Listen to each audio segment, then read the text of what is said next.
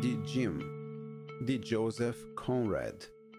Resumo do livro: A história começa com uma descrição de Jim, que tem cerca de 1,75 metros de altura.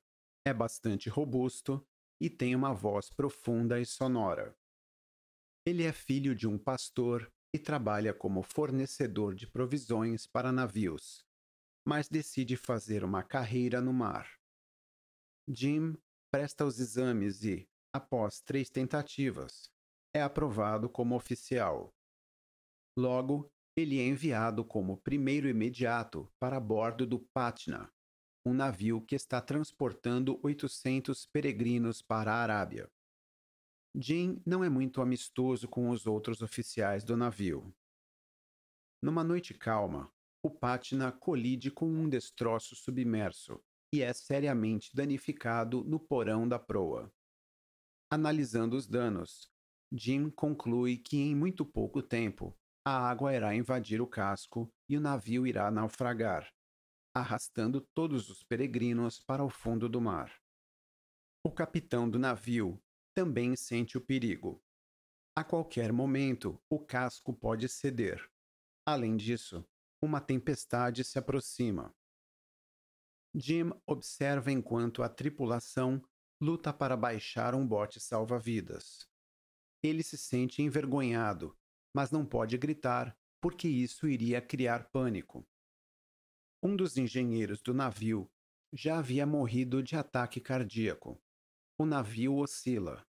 Jim não quer deixar os peregrinos, mas, em um momento de crise e indecisão, ele salta dentro do salva-vidas e abandona o navio.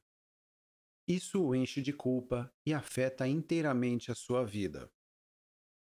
No entanto, o Patna sobrevive e o navio, juntamente com seus peregrinos, é rebocado pelo canal de Suez por um navio de guerra francês.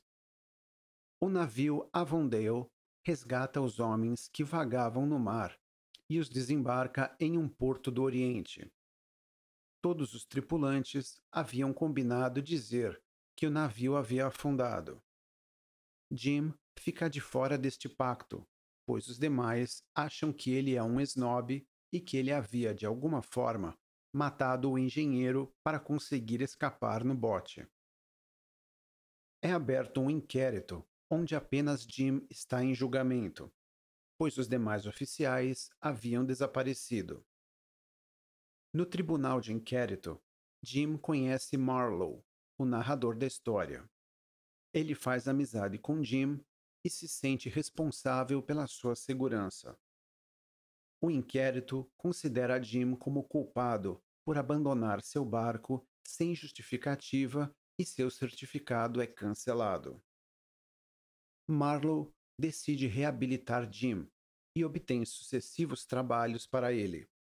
Finalmente, Marlowe convida com Stein, um rico comerciante, e consegue que Jim seja enviado para o Patuzão. Jim fica muito feliz com a oferta e espera que seu passado esteja em breve esquecido. No Patuzão, como conselheiro e governante dos Buges, ele conquista a sua confiança e em breve se torna o Tuan, Lord Jim ele encontra uma grande paz. Marlowe o visita no patuzão e constata que ele está muito feliz lá. Jim também está envolvido com Jewel, uma mulher meio nativa e meio inglesa. No entanto, a vida não continua dessa maneira. O mundo exterior, na forma de Brown, um renegado e pirata australiano, interrompe a existência idílica de Jim. Jim não está lá quando Brown chega. Assim, Dane Warris, filho de Doramin, toma a liderança dos Buges. Quando Jim retorna, Doramin, seu filho, e os aldeões querem que Jim os lidere e destrua Brown.